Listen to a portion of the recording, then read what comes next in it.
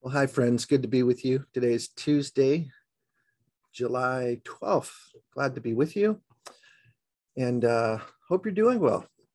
We're in the office again for a quick Devo, hoping to get out for the rest of the week and uh, hope to be with you on the road. Today, we're going to go back to the basics. We're going to go to a basic concept of Jesus. And the title that Luke uses in the Gospel of Luke when he announces the birth of the Christ, the Messiah. So if you have your Bibles, you can join me. We're at Luke chapter 2. I'm going to be reading verses 1 through 12. This is the account of the birth of Jesus. In those days, Caesar Augustus issued a decree that a census should be taken of the entire Roman world. This was the first census that took place while Quirinius was governor of Syria. And everyone went to their own town to rest, register.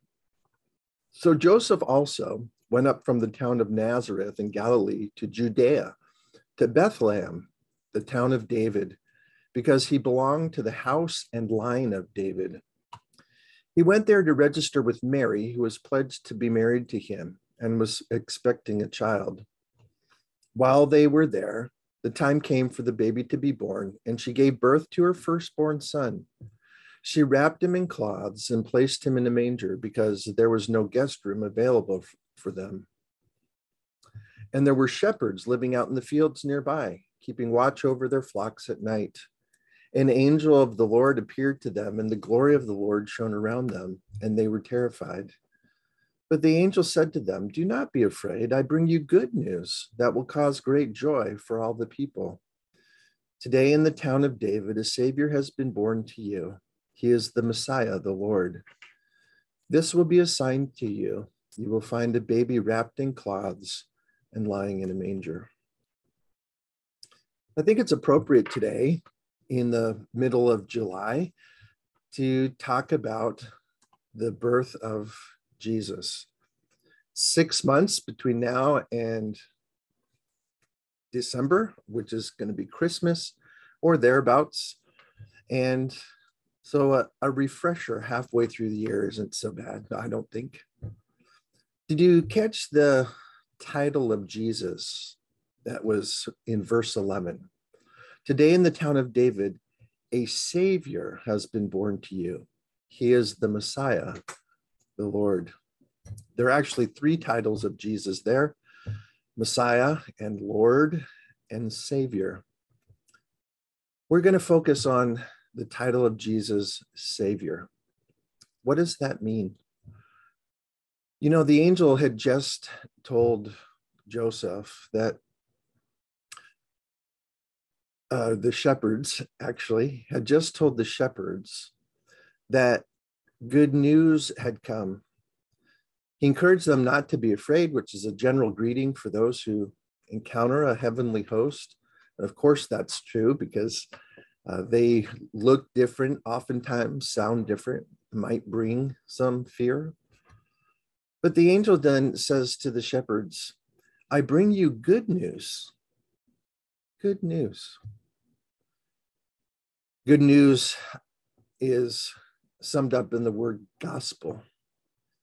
Matthew, Mark, Luke, and John are the good news of Jesus. And this good news, which the angel brings now to the shepherd, will cause, says the angel, great joy for all the people. But we have to pause there for a minute because we know the rest of the story. And the question is was this good news that brought great joy for all the people. The Savior, which was born, that born, this Messiah, this Lord, or better said, with the definite article, the Lord, would cause great strife within Israel. It would cause their religious leaders to be challenged, their presuppositions and theology to be turned upside down. And in the end, this Jesus, this Savior, this Messiah, this Lord, would be tried, crucified, died. He would be raised from the dead and then ascend into heaven. I'm not sure, as Luke sets us up, that the people of Israel in the first century saw that the birth of Jesus, namely this Messiah and Lord, was good news at all. And I'm not sure how much joy for all the people Jesus really brought. And think of your own life. You know, Bill Bright, the founder of Campus Crusade for Christ, wrote a little pamphlet to encourage and help people evangelize, spread this good news.